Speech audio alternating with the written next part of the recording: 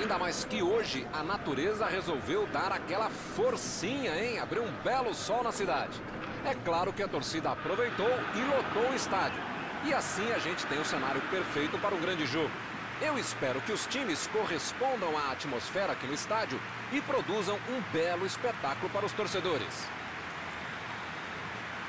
Um templo do futebol. É um palco perfeito para o jogo de hoje. Como você acha que o time vai se comportar com este esquema, hein, Mauro? Milton, esse já foi um esquema praticamente único no planeta. Nos últimos anos começou a ter só um cara à frente, mas cada vez mais você pode ter três ou até mesmo dois atacantes de intensa movimentação, inclusive sem a bola, para ajudarem na marcação e evitar que os zagueiros saiam jogando.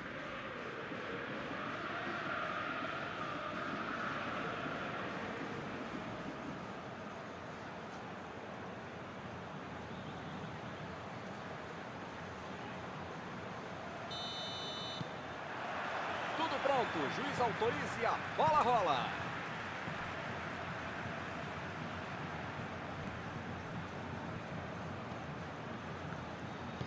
Chutão pra frente. Carlos Eduardo. A metida de bola pela direita. Olha a bomba. Opa, que beleza. Contra-atacar não é crime, não. É uma bela estratégia, ainda mais quando você tem habilidade e rapidez para fazer a jogada.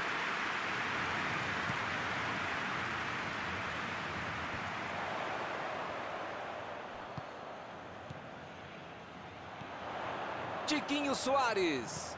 Bola enfiada entre... Chutou! Tirou do goleiro, mas ela foi na trave. Corte providencial do passe. Vem o passe. Metida de bola por cima. E a bola fica tranquila com o goleiro. Juninho.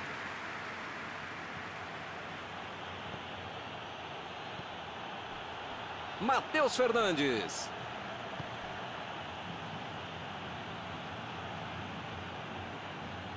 Ela vem por cima. Ele chega para fazer o corte. Carlos Eduardo. A metida de bola. Matheus Fernandes. Abriu o jogo lá na direita. Tentou o passe. Vai arriscar daí. Cuesta. Tira a bola da defesa de qualquer jeito.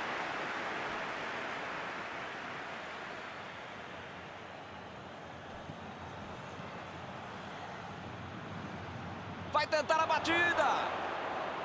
Ele a, a batida.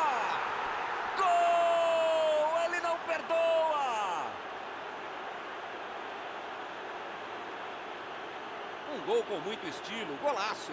Podia ter o goleiro, a mãe dele, o cachorro, o presidente do clube. Qualquer um não tinha como pegar essa bola. Que categoria, que frieza para finalizar desse jeito. Caminho aberto, 1 a 0. Já tem a vantagem. Para ter a vitória definitiva, precisa fazer mais um. Marlon Freitas tentou a metida de bola. Mandou um chute. Gol! Tudo ficou mais fácil pela bela matada de bola que ele fez. Deixou do jeitinho que queria e depois saiu para o abraço. Esse é o famoso momento psicológico para fazer o gol, Milton. Tomaram, já foram buscar o outro gol. Enfim, tá tudo aberto e esse time tá com moral para buscar mais coisa. Passe pelo alto. Acabou o primeiro tempo. O jogo aqui começou bem movimentado com o placar de 1 a 1. A torcida certamente vai querer ver o mesmo empenho dos dois times nos próximos 45 minutos. E começaram os 45 minutos finais. Não teve nenhuma substituição para o segundo tempo. Opa, que beleza! Uma tentativa de passe, mas houve um corte por ali, estava bem colocado. Finalmente eles tentaram atacar por dentro, algo que não havia acontecido até agora. Mas não sei se era o caso não.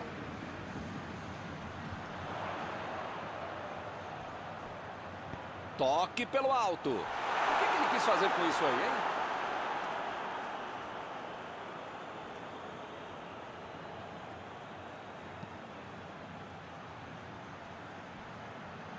A metida de bola pra frente. Agora é a vez de Eduardo Sacha. Imagina só se ele fura essa bola.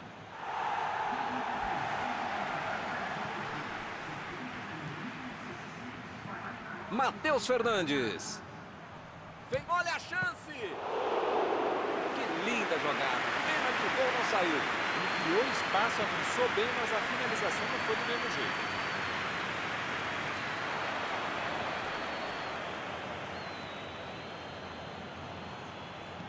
Botou para correr. Recebeu a bola. Tiquinho Soares. Realmente o chute saiu muito fraco, sem perigo. Se ele tivesse dominado melhor a bola, teria feito gol. Não conseguiu fazer a bola passar por ali. Ele bolou bem o lance, mas passou mal a bola. A defesa saiu bem. Bola enfiada pelo meio da defesa. Tomou um tranco ali e pegou a bola.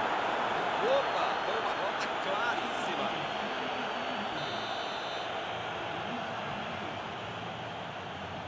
Soltou a bomba. Vem a batida. Que chance era para ter aproveitado. O placar deve ter deixado o cara tenso. É um lance para ele perder. E ele perdeu o domínio da bola. Tiquinho Soares. Eu não gosto de me arriscar em palpite, primeiro porque eu erro e segundo o trouxa aqui que fica sendo cobrado. Mas depois dessa aí, eu acho que o jogo vai acabar empatado mesmo.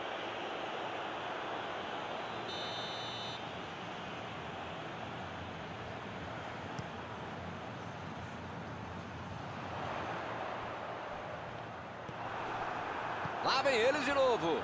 Tiquinho Soares. Raul.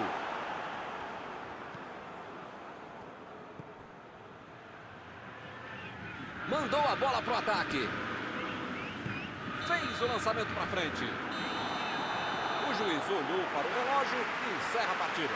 Com sinceridade, eu não sei se um jogo que termina empatado alegra alguém. Terminado o jogo, vamos para a análise geral do nosso comentarista Mauro Betting.